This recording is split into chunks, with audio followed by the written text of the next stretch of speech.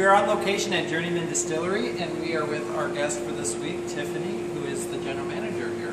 Hi, Tiffany. Hi guys, Thanks thanks, for- having me. Our pleasure. Thanks for being another mover and shaker on our video blog.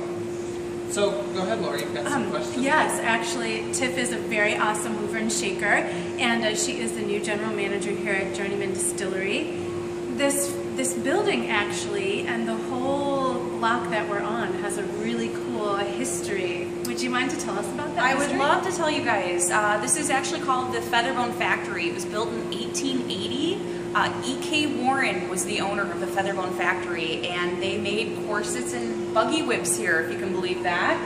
Uh, back in the day, corsets were made with whalebone as the structure, and I know corsets really aren't that comfortable to begin with, but I can't imagine how uncomfortable it would be with bone as the structure. So E.K. Warren had the idea to take turkey feathers, and he used the structure of a feather to actually build corsets, and he reinvented the way that they were designed. Uh, he had offices all the way from uh, London and Sydney back here to Chicago and Three Oaks. That is such a cool history. It is. It's wonderful. And when did Journeyman move in here?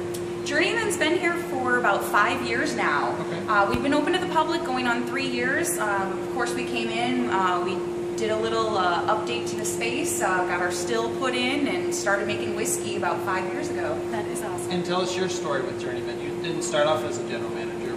No, I actually came in uh, to help with their retail. Uh, we sell a lot of uh, bottled spirits here. We do T-shirts, glassware. Uh, so I came in, uh, helped with their merchandise, and you know, two and a half years later, I've worked my way up the ladder to general management. Congratulations. Thank you. That's a true mover and a shaker. It's a mover and a shaker. And we actually have a bottle of some really cool whiskey. Why don't you tell everyone Oh about wow, this? yeah, the Federalist 12 whiskey. Uh, so this is actually George Washington's recipe for rye whiskey. Uh, good old George. Uh, not only was he our first president, he uh, knew how to make some good spirit, um, and it was very profitable for him, in all honesty.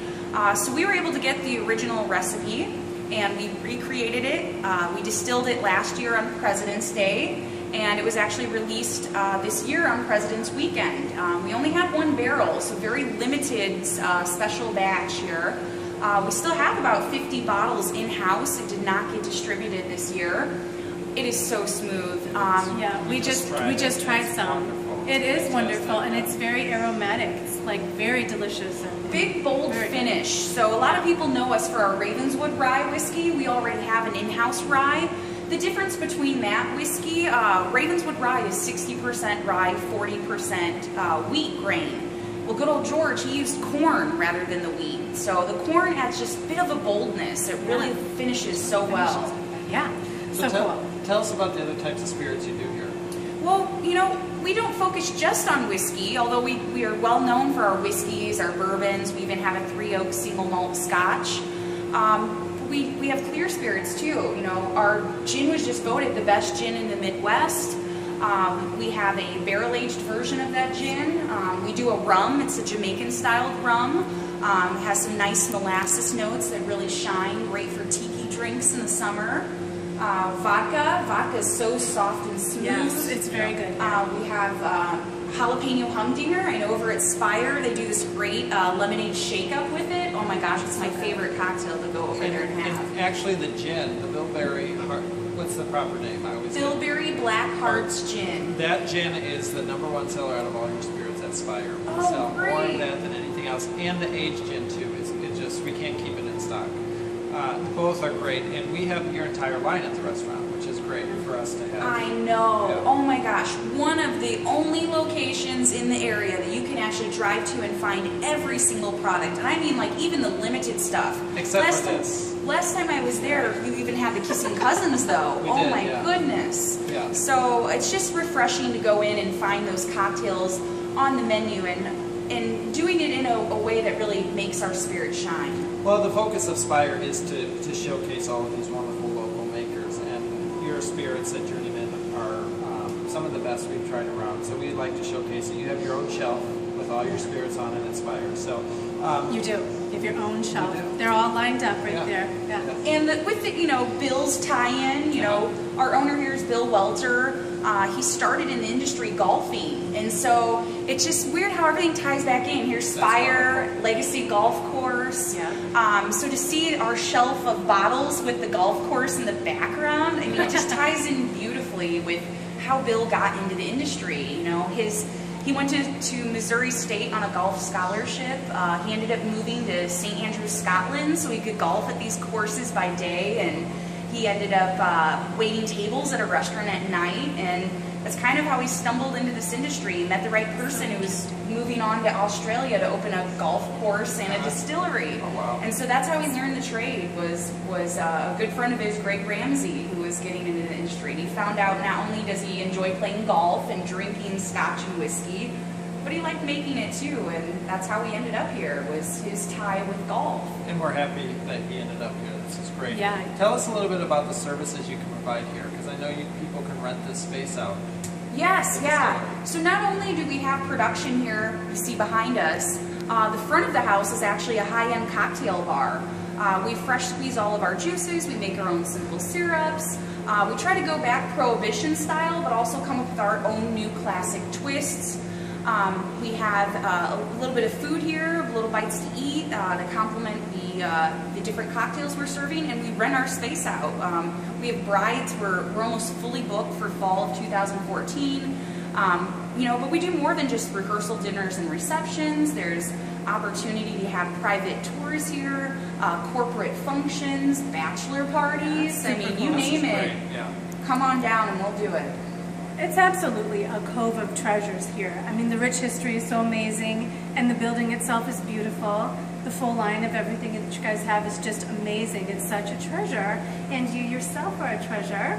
Oh, and we're you. so happy. Also, we wanted to thank you for hosting the LOK Dreambird party, feather oh party my here. gosh, what a good. uh, That was such a feel-good event, and it was It such was. a beautiful time. And uh, being back in here just makes me remember the great memories that we all created together. And I just thank you so much. well, thank you. And we're so glad that you are a mover and shaker, and we represent just local, amazing people and products and Yes. places. How can we find Journeyman on Facebook or online? You just look up uh, Journeyman Distillery. Uh, we should be one of the first things that pops up. Um, we do have a Facebook page. You can follow us on Twitter, uh, website. Um, we even so far we're in Pinterest, Vine. We try to do a little bit of everything. Where you can find these videos, um, watch us making a cocktail behind the bar, and try to recreate that experience at your own home. Wow, that's wonderful. Well, we'd like to thank you for being a part of Movers and Shakers this week. Oh, my pleasure. It's been fun, and we're uh, any excuse to get us up to Journeyman. We're always Yes. happy to do it. Right? Absolutely. up next, we're going to have a, a segment from the artist. Laura's got some stuff we're going to look at, right? Yes. Fantastic. Yeah. This is the segment that we like to call. Let's start the fuck over.